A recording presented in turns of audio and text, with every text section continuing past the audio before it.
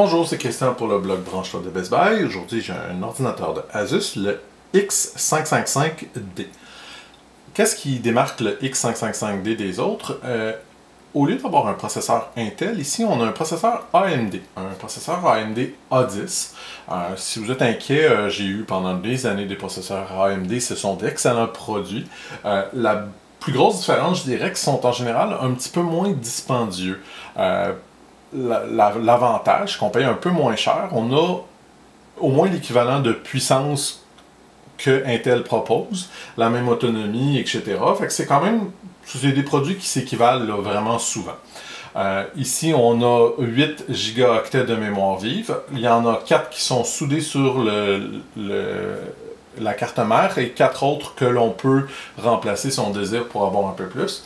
On a un disque dur de 1 teraoctet on a un, autre affaire qui est intéressant, c'est on a un son un petit peu plus limpide et puissant grâce à la technologie euh, Sonic Master. Je, vous dirais que bon, c'est des belles promesses, c'est intéressant, mais ça reste quand même que c'est du son d'un ordinateur portable. C'est correct, sans plus. Là, il n'y a rien vraiment d'exceptionnel à cet endroit-là.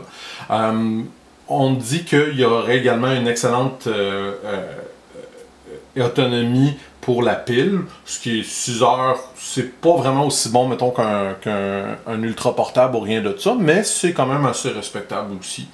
Euh, dans le fond, la raison principale pour acheter ce type d'ordinateur-là, euh, c'est surtout le coût. Euh, au coût, ce qu'il est, c'est dur à battre vraiment comme ordinateur. On en offre beaucoup. On a un bon disque dur, on a quand même beaucoup de mémoire, on a un processeur assez fonctionnel, euh, on a un écran de 15 pouces qui est euh, par contre pas en full définition, euh, en full haute définition. C'est un peu décevant de ce côté-là, mais bon, pour la catégorie de prix, c'est pas vraiment surprenant non plus. c'est un assez bon ordinateur si vous avez un étudiant ou euh, que vous désirez tout simplement pas de payer trop cher puis avoir quand même une machine qui vous en offre beaucoup. Euh, le X555D peut être quelque chose qui vous intéresserait. Euh, si vous voulez avoir un peu plus de détails, je vous invite à aller visiter le blog Branche-toi de Best Buy. Le lien est dans les commentaires de cette vidéo.